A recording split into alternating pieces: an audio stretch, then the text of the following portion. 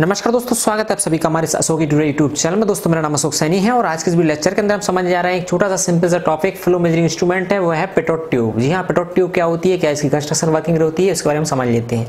Actually pitot tube एक simple instruments है और इसकी कंस्ट्रक्शन वर्किंग इतनी खास नहीं, सभी को पता है, लेकिन फिर भी हम समझ लेते हैं क्योंकि फ्लो मेजरिंग इंस्ट्रूमेंट है इस कारण से। देख लेते हैं उसके रिगार्डिंग मैंने यहाँ पर डायग्राम बनाया है, कुछ पेटोट ट्यूब का डायग्राम भी बनाया और उसकी बेसिक थ्योरी यहाँ पर कुछ लिखी है। इसके अलावा भी कोई सारी थ्योरीज है, वो आपको आप बुक में दे सकते हैं। और पढ़ सकते हैं। तो स्टार्ट करते हैं, समझ लेते हैं इसके बारे में बेसिक इन्फॉर्मेशन मैंने सबसे पहले लिखा है पेटोट ट्यूब मैंने नहीं लिखा एक्चुअली ये इसके इंपॉर्टेंट पॉइंट्स हैं। Pitot tube is a device use to measure the fluid flow measurement system pitot tube एक ऐसी डिवाइस है जिसका यूज़ हम करते हैं फ्लूड फ्लो मेज़रमेंट सिस्टम में, इसका यूज़ किया जाता है। ठीक है? Invented by the Henry Pitot a French engineer in eighteen century pitot tube जो है इसका आविष्कार हेनरी जो है हेनरी नाम के इंजीनियर ने इसका जो है इन्वेंट किया था। मतलब इसको आविष्कार किया था, इसकी सर्च किया था, इसको लाए थे वो। उन्होंने इसका देखा तो आविष्कार किया था, इसलिए उनके नाम पे ये पेटोट ट्यूब रखी हुई है हेनरी पेटोट ने रखा था, और जो कि एट्टी सेंचुरी में, ठीक है? इसका यूज़ क्या करते हैं हम? किसी भी पाइपलाइन में या किसी कहीं भी, जहाँ भी आपको फ्लो का मेज़रमेंट करना हो, वहाँ पे इस पेटोट ट्यूब के माध्यम से वेलोसिटी ऑफ़ फ्लूड का फ्लो मेज़रमेंट करने में उसका यूज़ किया जाता है। The pitot tube also called a differential pressure measuring device it is widely use to measure the air speed of aircraft या speed boat speed and for fluid flow measurement in the industrial applications देखिए pitot tube क्या है? इसका air flow की speed measure करने में हम कर सकते हैं एयरक्राफ्ट में मेजर करते हैं, या बोट आपका जो चल रहा है, समुद्र में बोट या जहाज़ जो चल रहा है, वो स्पीड चल रहा है, लेकिन कितनी स्पीड चल रहा है, उसके लिए प्रोट्यूब लगा देते हैं कि स्पीड मीन्स पानी पर कितनी स्पीड है। ठीक है? पानी तो आपका फिक्स है, लेकिन वहाँ पे बोट आपका चल रहा है तो उसमें भी इसके माध्यम से भी उसकी भी स्पीड माइंड कर लेते हैं और किसी पाइपलाइन फ्लड फ्लो हो रहा है, उसकी मेयर कर लेते हैं। और कहने का मतलब कि पेट्रोल ट्यूब एक वेरी सिंपल इंस्ट्रूमेंट है। कैसे करते हैं? डिफरेंशियल प्रेशर या डिफरेंशियल प्रेशर हेड के प्रिंसिपल पर यह काम करता है। यहाँ पे देखिए उसका डायग्राम सस्पल डायग्राम पहले समझ समझ लेते हैं पेट्रोल ट्यूब पेट्रोल ट्यूब का ये static pressure static petrol tube का डायग्राम यहाँ पे दिखाया गया इसमें देखें एक बारीक होल रहता है ये। आप देख रहे हो यहाँ पे। और इस होल से इस मतलब ट्यूब का जो डाया है, उस डाया की 18 डी मल्टीप्लाई बाई 18 डी मैं यहाँ पे अच्छे से एक्सप्लेन किया है।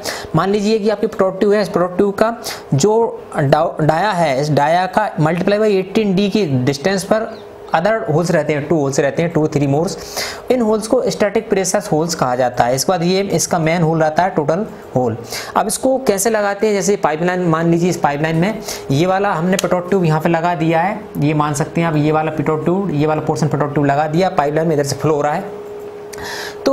कितनी स्पीड से, कितनी वेलोसिटी से इस फ्लो पाइपलाइन में फ्लो हो रहा है, उसको मेयर करेंगे, इससे कैसे करेंगे? यहाँ पे देखें आप, एक हमने स्टैटिक प्रेशर्स के लिए एक और अलग से ट्यूब निकाल लेते हैं, एक ये पेट्रोल ट्यूब है। अब यहाँ पे क्या होगा? डिफरेंशियल प्रेशर क्रिएट होगा। कैसे होगा? मान लीजिए इसको ओपन रख लिया एटमॉस्फेयर फ़िलहाल समझ लेते एटमॉस्फेयर ओपन रख दिया इसको। तो यहाँ पे नॉर्मल प्रेशर का नॉर्मल इसका जो हेड आएगा ऊपर, वो कम हेड आएगा।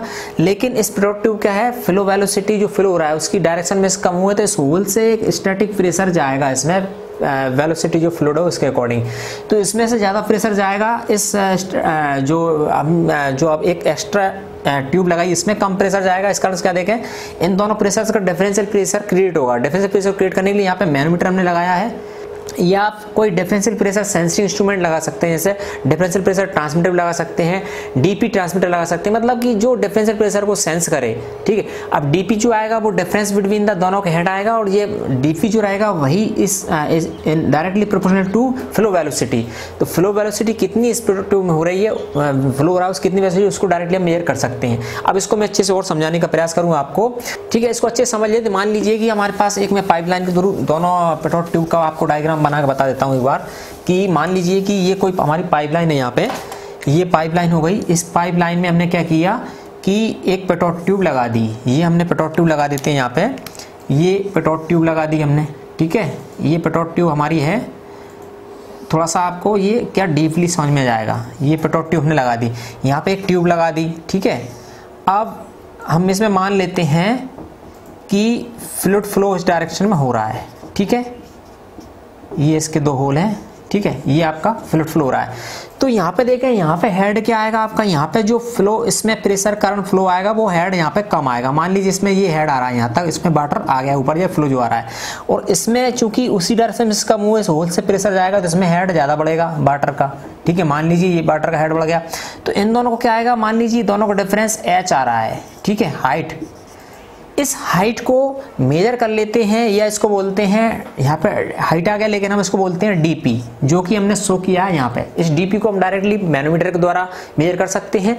ठीक है तो यहाँ पे इसी तरीके से दिखाया गया है। इसमें इसको बोलेंगे स्टैटिक प्रेशर इसको बोलेंगे टोटल प्रेशर ये मैनोमीटर है, इसमें डीपी आया DP is directly proportional to velocity ठीक है तो इस तरीके से जो है पेट्रोल ट्यूब के द्वारा हम किसी भी पाइपलाइन में फ्लो होने वाले फ्लूड का मेज़रमेंट कर सकते हैं बहुत ही आसान तरीके से। ठीक है, इसके एडवांटेज तो बहुत है, कोई इसमें ज़्यादा इसका देखा जाए तो पहली बात तो ये कॉस्टली नहीं होता है, कोई मूविंग पार्ट नहीं होता है मेंटेनेंस वेरी इसका ईजी है सिंपल है इंस्टॉलेशन भी सिंपल है।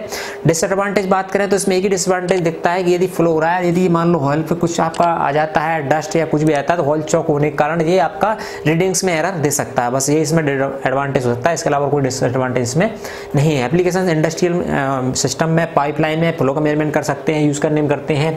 और इसके बाद इसमें लिखा है कि जो एयर स्पीड ऑफ़ एयरक्राफ्ट की स्पीड मेयर करने में स्पीड बोर्ड ऑफ़ स्पीड जो आपका वाटर पर जहाज़ चल रहा है बोर्ड चल रहा है, उसकी स्पीड मेयर करने में इसका हम यूज़ कर सकते हैं। तो वेरी सिंपल है। इसके रिगार्डिंग फाइनली जो फ्लड फ्लो वेलोसिटी थी मेयर करना तो इसके लिए फॉर्मूला यहाँ पे लिखा है u equal to root of two p two del p upon sorry u one equal to root of two del p upon rho where D P क्या है? Dynamic pressure minus static pressure dynamic pressure minus static pressure differential pressure ये DP और rho है density of fluid कितने density का fluid flow रहा है? तो इस तरीके से डायरेक्टली यूज़ इस फॉर्मूले में पुट करके हम इसकी वैल्यू भी निकाल सकते हैं। तो वेरी सिंपल तो पेटोट ट्यूब कोई ज़्यादा खास नहीं है। और देर आर थ्री टाइप ये तीन टाइप का होता है। एक simple pitot tube static pitot tube and pitot tube static tube ठीक है? और इसके अलावा इसमें कुछ ज़्यादा है नहीं विशेष तो ये एक छोटा सा हम बताने का प्रयास कर रहे थे आपको कि पेट्रोल ट्यूब क्या होती है, किस तरीके इसका फ्लो हम मेज़रमेंट यूज़ करने में करते हैं। दूसरा, आप इसको आपको ये समझना होगा कि ये डिफरेंशियल प्रेशर के प्रिंसिपल पर काम करती है। जैसे कि हमने इस डायग्राम में आपको दिखाया डायग्राम आपको कई तरीके के देखने को मिलेंगे, लेकिन ये बेसिक डायग्राम हमने बनाने का प्रयास किया। ठीक है तो समझ में आया हो आपको प्रोडक्टिव क्या है, किस तरीके से काम करती है। और दूसरा, ये किसकी बनी होती है? एस की बनी होती है स्टेनलेस स्टील की बनी होती है।